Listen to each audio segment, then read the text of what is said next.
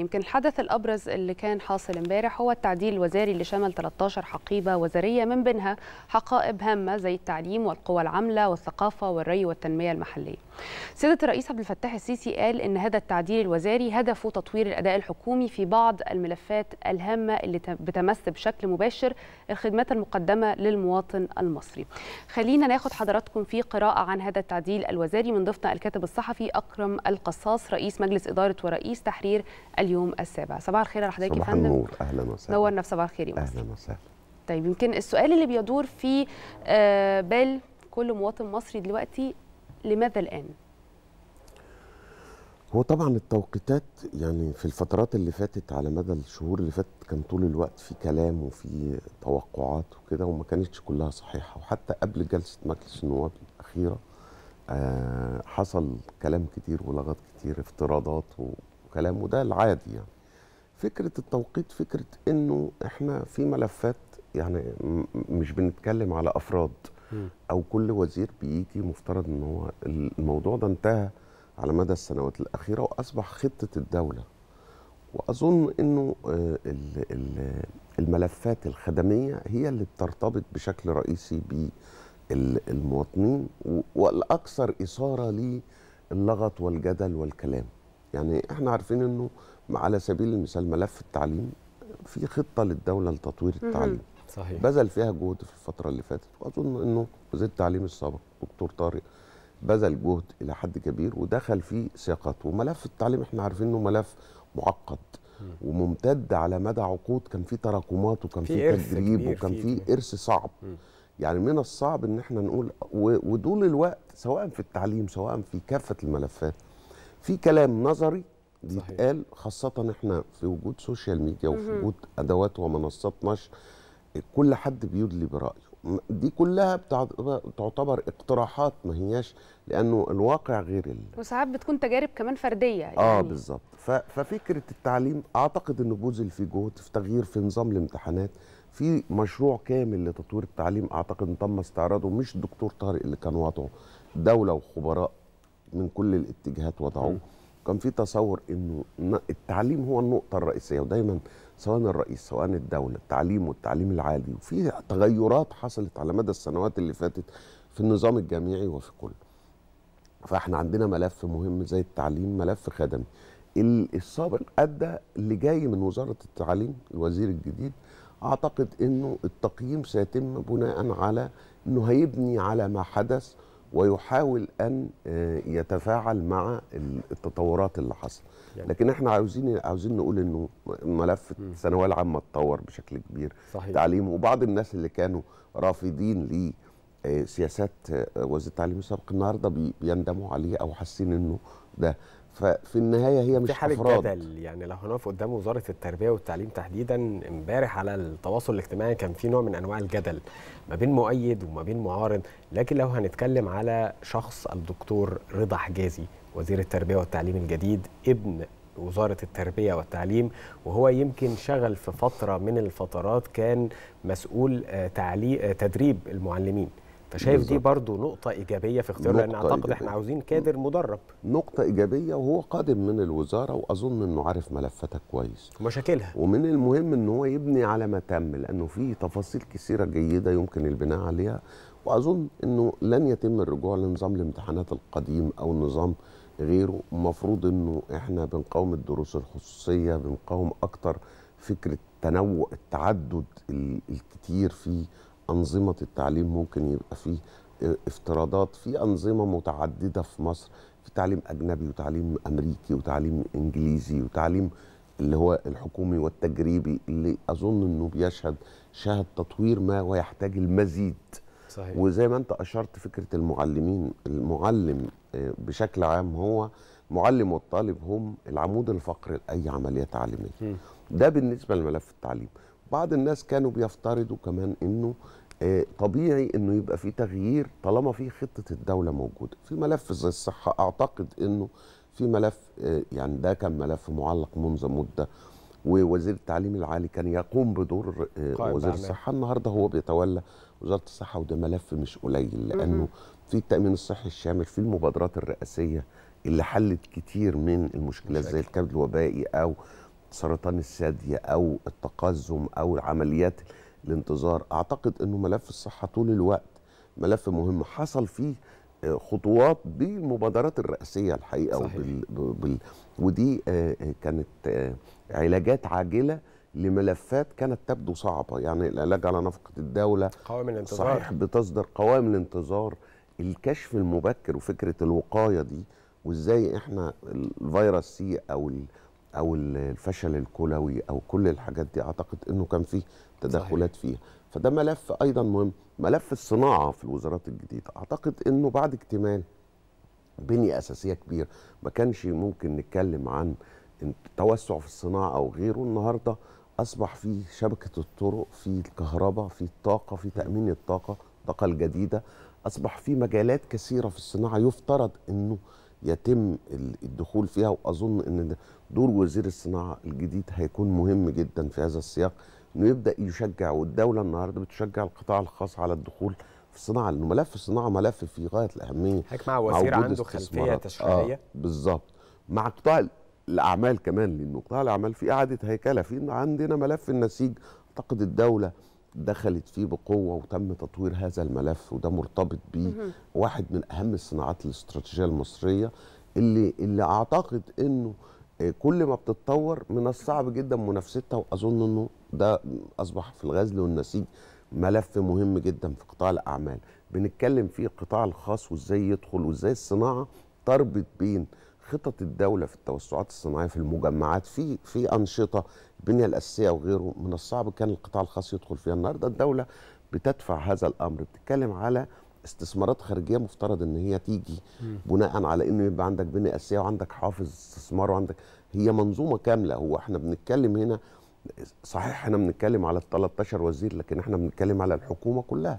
نعم. في الملف الاقتصادي اللي هو النهارده حظيوا على حصلوا على ثقة إضافية قد تدفعهم إلى إعادة النظر أو إيه إيه إيه تدعيم فكرة سياقات الإصلاح الاقتصادي خاصة هي دي بقى وإن النقطة إحنا يا أستاذ أكرم اللي عايزة أتكلم مع حضرتك فيها. يعني إحنا لو بصينا للصورة الأكبر كده هي 13 حقيبة وزارية.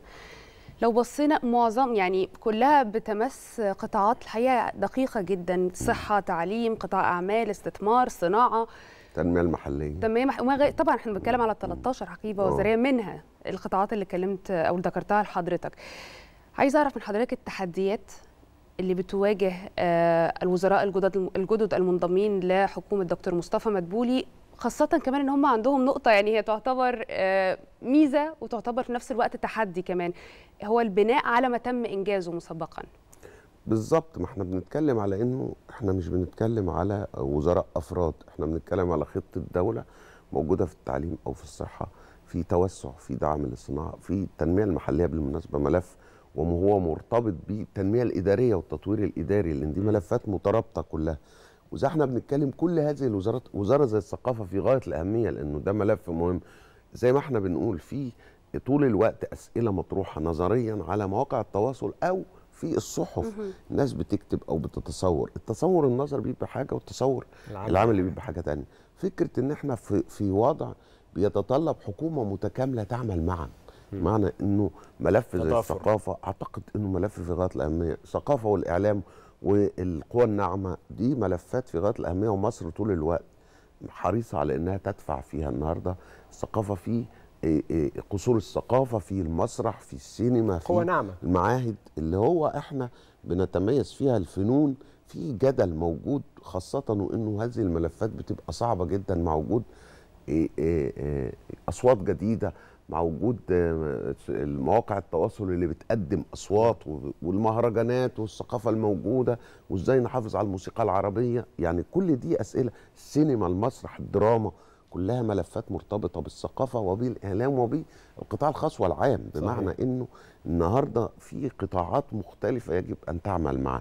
الملف الاقتصادي وإحنا أعتقد سواء بعد كورونا اللي, اللي عدت على مدى سنتين أو داخلين في ثلاث سنوات أو ملف الحرب الأوكرانية والملفات الاقتصادية ده غير خافي على أحد لأنه في تحولات عالمية حاصلة. حقيقية. ده مش طرف يعني مش حاجة إحنا بنتكلم فيها كشأ كشأن رئيسي. أي حد هيتكلم على اقتصاد أو على استثمارات أو غيره لازم يضع في اعتباره ما يجري في العالم وإن هناك طبعا. منافسة كبيرة وحتى الدول الكبرى النهارده في صحف بتتكلم على تغيير شامل في النظام العالمي وفي المنطقة حوالينا والقضايا المعلقة والقضايا الأمن القومي وقضايا ال- الصراعات اللي موجودة في بعض الدول و- و- والإرهاب وفي تحديات كثيرة جدا. فالدولة هنا ما هياش مرتبطة بملف واحد هي كافة الملفات كلها بنضعها في الاعتبار. ممكن يعني من حق الناس إن هي تتساءل وتتكلم بالمناسبة لكن يكون بناء على إتاحة هذه المعلومات. ربما من الحكومة حكومة الدكتور مدبولي أو الوزراء اللي موجودين ربما يكونوا لديهم آه، مطالب من الناس إنهم يتيحوا هذه المعلومات. دايما الرئيس عبد الفتاح السيسي بيقول نقدم الناس المعلومات. للناس بالشكل اللي يخليهم يحكموا. لأنه الحقيقة على مدى الأيام اللي فاتت آه، سواء قبل التشكيل التعديل الوزاري أو حتى في السياقات كلام في الاقتصاد كلام في السياسة واضح جدا إنه الناس لديها رغبة إنها تتساءل لكن بعض هذه الأشياء بتنطلق من مقدمات خاطئة حوالين الاقتصاد أو إنها تبقى مجرد وجهة نظر مطروحة صحيح. ما هياش حل نهائي لأنه لو حد ليه حل نهائي بالتأكيد ما حدش هيتراجع على إنه يجيب هذا يجيبه. الحل صحيح. ويضعه مباشرة فدي افتراضات و- والحقيقة بعضها في ممكن وبعدين دولة ما بتنكرش إن في سياق عام موجود عالمي واقتصادي. واحيانا وجهات النظر دون دراية حقيقية بالتحديات والموارد المتاحة ما بتبقاش سليمة. بالظبط. ودايما إحنا بنضرب أمثلة ب العاصمة الإدارية الدولة النهارده الحكومة بتنتقل للعاصمة الإدارية، العاصمة الإدارية النهارده بدأت من ست سنين وكان بعض الناس بين التصديق والتكذيب وإنه لا صعب ومش هيحصل. النهارده العاصمة الإدارية اللي تمت النهارده الحكومة تنتقل أول مشروعات الطرق. لو كان النهارده هبدأها النهارده وما عملتهاش بدأتها من ست سنين كانت تبقى التكلفة خمس أو ست أو سبع أضعاف. فالنهارده ده برضه إجابات على أسئلة. ال- المدن الجديدة اللي اتعملت المدن اللي هي من الجيل الرابع والإسكان الاجتماعي أو الإسكان المتوسط اللي موجود بقى فيه إتاحة إلى حد ما محتاجة برضو دي محتاجة من حكومة الدكتور مدبولي. ضبط الفكرة ودعم المبادرات اللي كانت موجودة لتطويل أمد التقسيط صحيح. غيره. بنتكلم على ملف ممكن ما يبقاش مرتبط. في ملف حياة كريمة اللي مرتبط بكل الوزارات ال 13 وبالوزارات اللي موجودة. حياة كريمة النهارده بنتكلم على أكتر من 60% من سكان مصر قرى و... و... وتوابع وعزب كانت محرومة أو مهمشة الأقاليم محتاجة الحقيقة إن الحكومة تبقى بنفس سرعة الرئيس. يعني يعني طول الوقت إحنا بنقول إيه اللي مطلوب من الوزراء؟ إنه الدولة والرئيس النهارده بيطرحوا إيه إيه في تسارع وبنكتشف النهارده ليه فكرة لا كان لازم نعمل ده بسرعة لأنه النهارده العاصمه الإدارية دي كانت ممكن تبقى تكلفة خمس أضعاف أو ست أضعاف المدن اللي اتعملت والإسكان المشروعات الطرق أو غيره اللي هي النهارده بقت بتتيح فرصة للصناعة أو للتنمية بشكل كبير. طيب أستاذ أكرم خليك أروح مع حضرتك ل آه، كمان ملف هام جدا هو ملف الصناعة. بنتكلم عن دكتور أحمد سمير دلوقتي. إحنا طول الوقت سيادة الرئيس عبد الفتاح السيسي يتحدث عن أهمية توطين الصناعة وصناعة المكونات اللازمة آه، للصناعة وما إلى ذلك. ما نبقاش فكرة إن إحنا بنجمع هنا مجرد المنتج في الآخر. لا إحنا عايزين نوطن الصناعة. والقطاع ده هام جدا جدا جدا وزي ما حضرتك قلت هو كلها منظومة متكاملة. عايزه أعرف من حضرتك التحديات في هذا القطاع تحديدا. ملف الصناعة ملف مهم جدا وأظن أنه في شبه اتفاق عام بين كل- الأطراف على أنه من المهم في الوقت الراهن يمكن مع الأزمات اللي حصلت عالميا وسلاسل النقل وغيره أصبح من المهم التفكير في فكرة إزاي الزراعة مثلا اللي حصل في الزراعة في مصر طبعاً. ساهم بدرجة كبيرة في أننا نمتص كثير من التأثيرات الأزمات. السلبية للأزمة القمح اللي أضيف غيره ملف الصناعة الحقيقة زي ما أنت أشرتي هو ملف مش مرتبط بس بالصناعة طبعا وزارة الصناعة مهم جدا إنها يكون عندها أفكار يكون عندها إنه يبقى في مخطط عام إيه اللي محتاجاه الدولة النهارده بعض ال- السلع اللي إحنا بنستوردها ممكن تصنيعها بشكل رئيسي هنا مستلزمات الإنتاج في حياة كريمة على سبيل المثال مواسير أو صرف أو مياه أو حتى أجهزة إلكترونية. النهارده بقى في صناعة مثلا للتلفزيونات بشكل كبير بنسبة كبيرة جدا صناعة محلية سواء جزء مستورد أو جزء محلي أو جزء آخر. ده ملف مهم جدا. والصناعة ما هياش بس قطاع الأعمال أو وزارة الصناعة دورها إنها تفتح الباب ل افاق أو الأفاق الجديدة. في مجمعات صناعية اتعملت للغذاء للدعم الغزل والنسيج وغيره. إدخال القطاع الخاص وفتح الباب للقطاع الخاص وده مش مرتبط بس بالصناعة كمان بالاستثمار صحيح. والحوافز اللي بتتقدم. بنتكلم على وإن- خطة وإن أنا أقدر أسوق فرص الاستثمار وفرص الصناعة في مصر إن أنا أقول للناس إن أنا عندي في- كان عندنا شبكة طرق وعندي طاقة مصرية. متوفرة بشكل جيد وعندي أراضي متاحة وعندي مناطق صناعية ودعم والصناعة مرتبطة بالصناعات الصغيرة والمتوسطة اللي هي. ممكن أو تقسيم العمل. وده إحنا يعني جنوب شرق آسيا أعتقد طول الوقت كنا بنتكلم في هذا الأمر.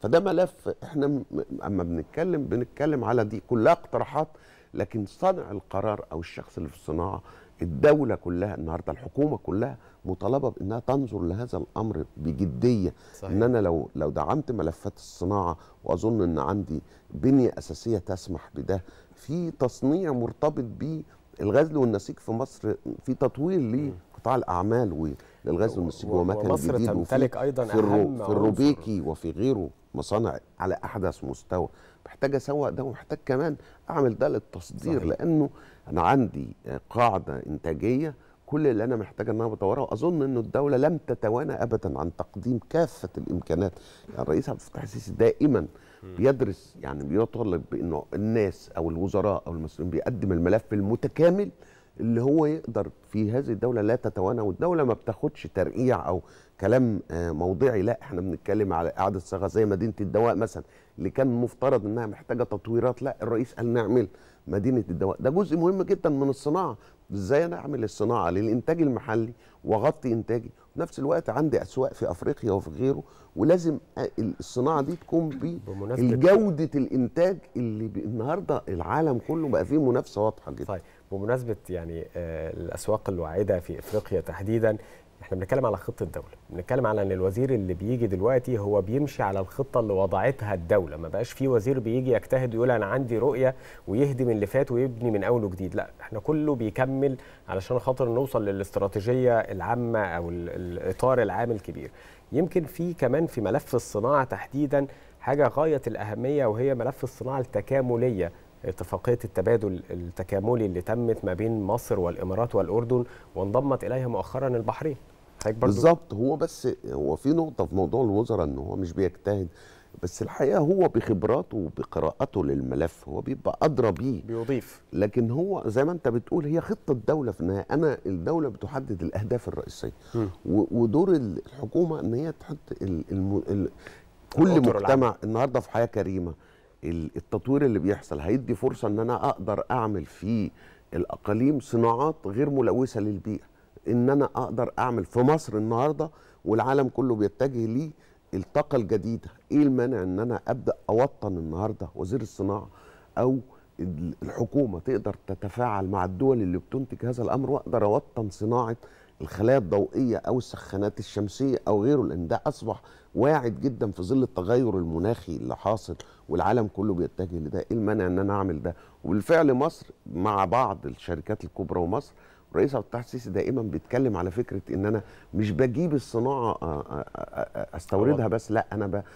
بشغل المصريين اللي أقدر أعمل خبرات. والنهاردة في ملف التعليم العالي بقى يربطنا في التعليم ال- التعليم الفني مثلا صحيح. اللي هو أصبح لا يقل أهمية وإحنا بنتكلم على إنه الشباب بيختار مستقبله وكذا فكرة التعليم التعليم الفني اللي, هو بيخرج الناس اللي اشتغلوا في الصناعة أو في غيره ده ده حصل فيه تراكمات وإهمال على مدى عقود. النهارده في استعادة ليه مهم جدا إنه بعض الشباب يبقى مدرك إنه ال ال ال ال الفني اللي بيشتغل في مصنع ممكن يكون دخله مقارب ليه دخل المهندس أو غيره وإنه خبرة مطلوبة وإنه التعليم ال ال الإنفاق في التعليم في إعادة تأهيل هذا الأمر ويبقى في تعليم فني ده مرتبط بالصناعة وبالتالي إحنا بنقول إيه؟ كل الملفات متواصلة مع بعضها وهنا فكرة إن الحكومة تعمل زي خلايا القلب كلها مع بعضيها صحيح. وإنه ما يبقاش في أفراد ويبقى في ليه الحكومة بتجتمع مع بعضيها أو غيره؟ لأنه بتسلم بعضيها فما فيش ملف أقل أهمية من الآخر أو أكثر أهمية. الملف الرئيسي إنه يبقى في تناغم عام في عندي حياة كريمة في عندي الصحة في عندي التعليم. التعليم العالي والتعليم الفني في غاية الأهمية طبعاً. النهارده. ارتباطا بالصناعة وارتباطا بالتنميه المحلية اللي مفترض قانون ال- المحليات والكلام اللي بنتكلم اللي هو الاستكمال صحيح. اللي هيحل مشاكل كتيرة وهيخفف عن العاصمة. كل دي ملفات مهمة في الحقيقة مصر عندها أهم مورد من موارد الصناعة وهو العنصر البشري. آه، العنصر البشري آه، آه، مهم جدا في ده وأظن إنه الخريجين سواء النهارده بياخدوا كورسات أو إعادة إعادة تغيير المسار أو كمان التعليم الفني. وفي ملف مهم أيضا الحقيقة في الملفات دي آه، وزارة الري. وزارة الري وزير الري الجديد برضو أحد العلماء المهمين من مدرسة الري المصرية وراجل بيفهم. والحقيقة الوزير برضو السابق محمد عبد العاطي كان يعني سواء دكتور هاني سويلم أو دكتور عبد العاطي. ده ملف مهم مهم ملف مهم لأنه مرتبط بأنه عدد السكان تضاعف ونصيبنا من مياه مهم النيل في ثابت، توقيت دقيق وبالتالي في بشكل تنقية كبير المية يعني. إعادة تشغيلها إعادة استخدامها ومصر. لديها خبرة في هذا الأمر تقدر تقدمها إحنا خبراتنا بنقدمها لنفسنا وبنقدمها للعالم بالتأكيد طبعا يعني على أي حال هي في الأول وفي الآخر هي الأولوية الأهم بالنسبة آه، ل- آه، للحكومة ولمصر هي المواطن بشكل عام المواطن وده مهم جدا في الاقتصاد وفي الزراعة وفي, وفي كافة التفاصيل ويبقى الاستماع وال- لل- للآراء بناء الآراء القائمة على ده وتقديم المعلومات صحيح. إتاحة المعلومات مهمة جدا لفتح الجدل. إحنا خاصة يمكن مؤخرا إحنا كنا تابعنا ده طبعا. أساسه المعلومات. وإحنا تابعنا في الفترة اللي فاتت كمان كان مبدأ الشفافية كان فعلا موجود لدى قائم. الحكومة.